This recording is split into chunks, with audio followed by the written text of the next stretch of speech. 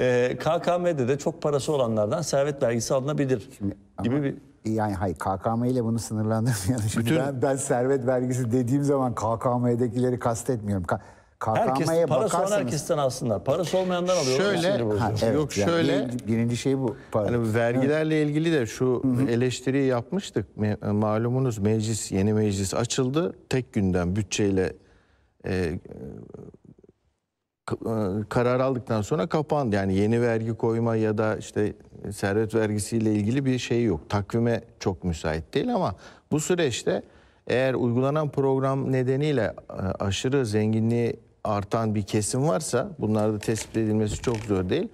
Esas itibariyle vergi yükünün onlar üzerine e, yönlendirilmesi lazım.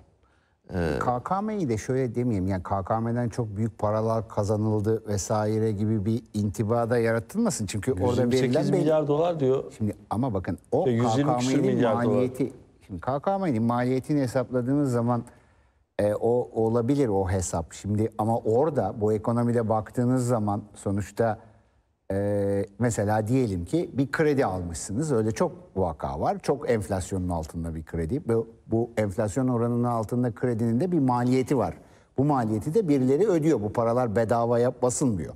Maliyet olmadı enflasyon olarak geliyor. O enflasyonu kim katlanıyorsa, gelirinden kaybediyorsa o ödüyor onun E biz parasını ödüyoruz işte. Yani işte kim enflasyona karşı kendini koruyamıyorsa. Dolayısıyla şimdi mesela ucuz kredi aldınız değil mi bu o şeyde bunu üretime de vesaire yatırmadınız. Hadi öyle bir şey yapsanız hani iş gücü yarattınız vesaire. Ne yapıldı? İşte bu krediyle diyelim ki araç alındı. Mesela böyle bir sürü haber okuyorum.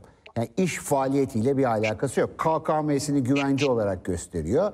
Mesela diyelim ki bir filo araç alıyor ve işiyle de bir alakası yok. Ve oradan hem ucuza fonluyor değil mi? Enflasyonun altında alıyor. Araç fiyatları birdenbire 10 katına çıkıyor. bunlar işte görünmüyor mu yani? Devlet buna bir şey bahsettiğim yapamıyor mu? Hayır, bir- önce bu faiz politikasından vazgeçecek. Bunu bunu yaratan çünkü o.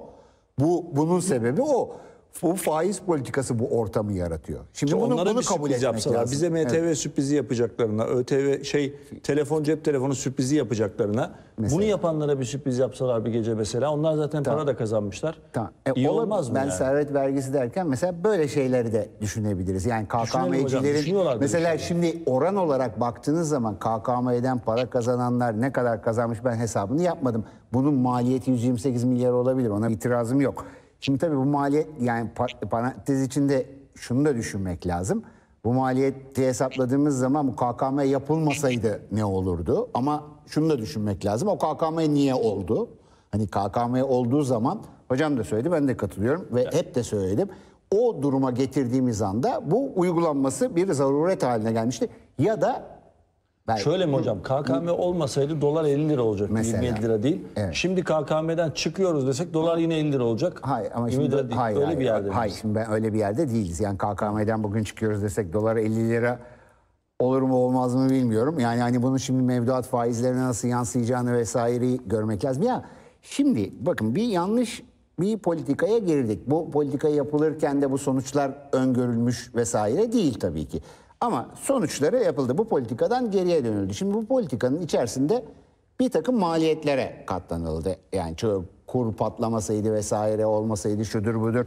Şimdi olan bir kere bir olmuş. Şimdi bundan sonra olan politikaya bakmak lazım aslına bakılacak olursa. Yani geçmişe en azından şu anlaşıldıysa net olarak bu uygulanan politika yanlıştı. İstenilen sonuçları vermedi. Verdiği sonuçlar tam istenilenin aksine oldu. Büyümeyi arttıracağına düşürdü. Üzerine enflasyonu üst- e, çok üst düzeylere ve baş edilmesi çok zor düzeylere yıkardı. Bunun maliyetine çok geniş halk kesimleri katlandı. Gelir adaletsizliği üst düzeye çıktı. Gelir dağılımı çok bozuldu. Bunları kabul ediyorsak ve artık bundan sonra bunun neden olduğunu da artık açıkça biliyorsak bundan sonrasına düşünmemiz gerekiyor. Şimdi KKM yani dediğim gibi o noktada uygulanması bir zorunluluktu. Şunu diyebilirsiniz ama yani KKM e, değil de o noktada faizleri arttırsaydınız ya da işte bunu yapabilecek süper bono yapsaydınız ama bir şey yapmak zorundaydınız. Ve KKM de bunlardan bir tanesiydi ve yapıldı ve e, elbette belli bir orada kurda bir stabilite sağladı. Sonraki uygulamayı da eleştirmeniz lazım devamında. Çünkü bu KKM büyütüldü sürekli olarak. Neden? Döviz kurunu biz tutmaya çalıştık. Hem faizleri aşağıda tutup hem de bu arada da döviz kuru da yükselmesin dedik. Orada rezervlerden para, yani bu politika o arada da bu döviz kurunu tutabilmek için de ana enstrüman olarak KKM'yi kullandık. Şimdi politikanın tamamı bu anlamda yanlış.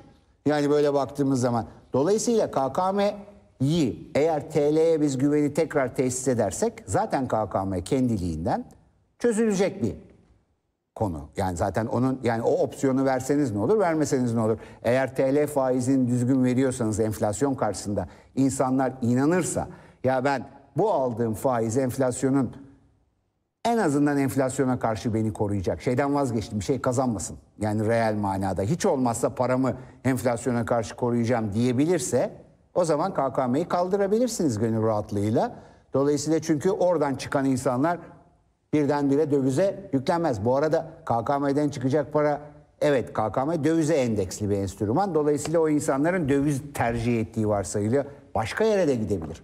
Yani gördüğümüz gibi ne bileyim konuta da gidebilir. Ne bileyim işte altına da gidebilir vesaire. Hani bu bu dengesizliği ortadan kaldırdığınız zaman zaten KKM kendiliğinden kendi kendini yok eder İhmal zaten. etmiş olacak diyorsun. Elbette. Peki. Yani önemli olan doğru politikaya gelmek. Bu arada bir şeyin de altını çizmek lazım.